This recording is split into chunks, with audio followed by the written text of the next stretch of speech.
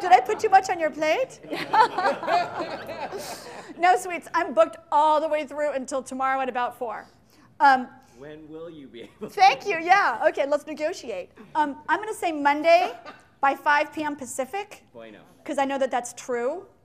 Barbara's writing that down. She's going to hold me accountable. Monday, 5 p.m. Pacific. That way I can get it earlier too, and you'll be thrilled. But if you get it Monday, you're not going to be having a poopy fit. Okay, great. So Monday, 5 p.m. Pacific. Pacific. Okay? All right. Come back. So the higher up you get on the, do you want us to close those? Okay, don't suffer. Can you close these blinds? Thanks. Um, the higher up you get on the rapport pyramid, the more potent, right? So at the bottom, all we're doing with rapport, so people sometimes think that this is evil. We're not doing this stuff to be evil, okay? So just give me your little pinky swear that we're going to use these techniques to foster safety, belonging, and mattering, right? We're not going to use these, you know, to pick up women in a bar, okay? Whenever I speak to groups of entrepreneurs, men are like, "Will this work?" When I'm, I'm like, "No, gross! I'm not teaching you." Okay, so. So here's the thing we're using these rapport techniques to foster safety, belonging, and mattering to help people connect with us and not be so defended, scared, whatever. First, posture and gesture mirroring. This is really easy, but you're not going to be obvious about it. So if you're at a meeting with a person, you know, you've, you've heard this before. They're leaning back, you know, you lean back and you cross your arms, but you don't go, ooh, ooh. And then they go like this, ooh, ooh. You know, I mean, don't be weird, okay? Pause, breathe. We're trying to mirror them because subconsciously the message we're sending is we're the same. We belong together. I'm not scary, okay? So posture and gesture is really easy. Vocal, tone, pace, pitch. We have one client who was a prospect who would kind of hyperventilate when he got excited. He'd be like, oh, so of course, when I was in the selling process, oh, and he's like, oh, yeah, you totally understand me, you know? And I'm like, well, I do. And, I'm, you know, I'm, and then later I said, you know, in the sales process, I was using vocal mirroring. And he was like, oh, great. Okay, I'm going to use that with my clients. So vocal is helpful, especially if you've got telesales people. So with those sales reps over the phone, we did lots of work on vocal mirroring. The next one, keyword, awesome. Keyword's easy, and a lot of these first three things, we naturally, if we're kind of coming from wanting to connect with people, you'll find that you naturally probably do a lot of these first three things. Keywords are if someone says, We've got to drive this home. You say yes, you know? So to drive this home, blah, blah, blah. And then at the end of the conversation, so we're going to drive this home. We're going to drive it home together, you know? Blah, blah, blah, okay? Now, sensory system is visual, kinesthetic, or auditory. Yes, there's olfactory and gustatory, but most people don't process the world through their mouth or their nose, okay? Thank God. Um, so most of us will experience the world we'll say, I feel, I feel good about that. I, I need to get my arms around it. Okay? That's a kinesthetic, touchy person. So you use the, well, you know, yeah, let's get our arms around this. How's that feel to you? You know? So we're going to use kind of feeling words. If they're saying, ah, I see where you're going, say, so do you have a good view of that? You know, we're using visual words. So listen, pay attention. This is why if we're really focused and we're really present, we will understand exactly what their sensory system is so we can then step into it, okay? Auditory guys, oh, you know, I resonate with that. That sounds good to me, okay? So start to kind of look at, listen, feel, where are your people? Now, I don't have time to do meta programs. Meta programs is about an hour and a half. But I want you guys to think about, when you get this, think about how the people in your world process information. Are they running towards things or are they cautious and they're kind of going to step back and assess? Are they, oh, give me lots of possibilities or uh, uh, uh, I want five steps to complete such and such?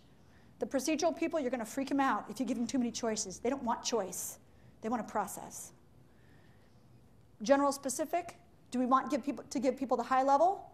We had a CFO who kept going into specifics with the CEO. The CEO said, I think I got to fire this guy. I can't stand the way he talks. Oh, God, blah, blah, blah, blah, blah. I'm like, nut it out, dude. So I talked to the CFO and I'm like, let's go over the meta programs of the CEO. Let's keep our job, okay? So we go through the meta programs of the CEO. The CFO starts talking to the CEO in his meta programs. Three months later, the CEO calls me and says, I think that's one of the best hires I ever made. I did not remind him of the fact that he almost fired the guy. That's, I think that's one of the best hires I ever made. Six months later, the CFO was on the president track. Six months later, the CFO goes, Oh my God, the CEO just said, You know what? Why don't I just make you president of this division? Okay, let's lay out the track. So, needless to say, speak in somebody else's language. It's not about us. This is a newsflash, it's harsh, but it never was about us. Sorry, okay? You're the leader, that means that you basically have to serve others. Everyone thinks, when I get to the top of the pyramid, it will be so great. No, you will have to disappear. The more you disappear into the person you're talking to, the better they receive your message. That's how you close sales faster. That's how you get more motivation and alignment. That's how you get those prospects to close faster. That's how you get more emotion in your brand. Okay? Two more, and then we're going to move on because I want you guys to know stances. Reactive, proactive, just like they sound. You know, is someone out there charging ahead, or is someone, oh, I'm going to sit back and analyze and check it out and be cautious? Internal, external. Internal people are harder to manage. Internals are often the, um, the engineers, the accountants. They know they're doing a good job because they're smart. They know, okay? Salespeople, easier to manage. They're external. Give me treats and I will perform. Ooh, more treats, yay. Oh, I didn't get treats. Oh, my world is falling apart. Here's how to get some more treats. Ooh, okay, okay. Sameness, difference, tolerance for change. Sameness and difference is tolerance for change. Please don't say to people, this is a big, huge, exciting change. They will go into their limbic system. They will go into fight, flight, fear. They're not excited about it. It's not happy. Do you guys remember New Coke? It was awful. It was a disaster. It's new Coke. I don't want new Coke. I liked Coke already, right?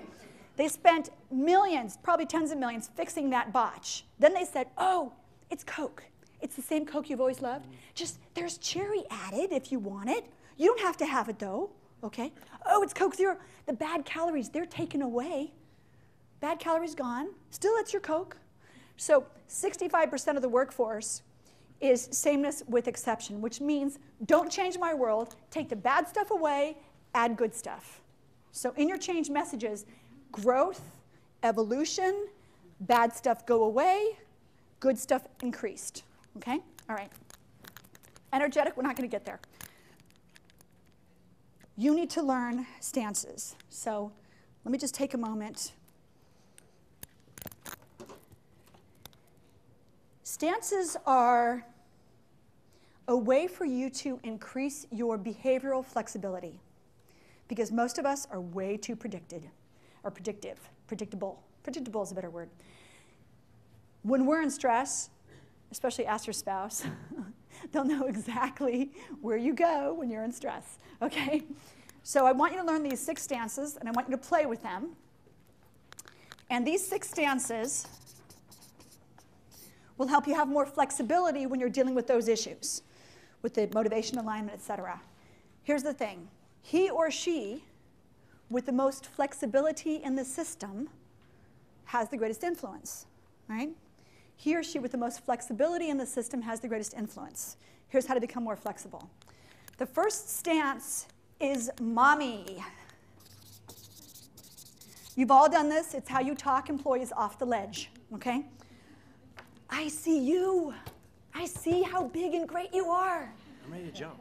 Dude, stay with me here. Let's do this next project together. You know, you're amazing. I get it. Okay? Mommy is, oh, the recipient of mommy feels so big. You know?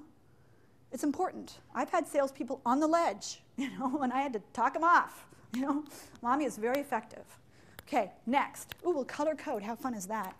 Okay, Next is the opposite of mommy. I've been working on not swearing as much, so I'm going to leave a blank here for you to fill in. Mother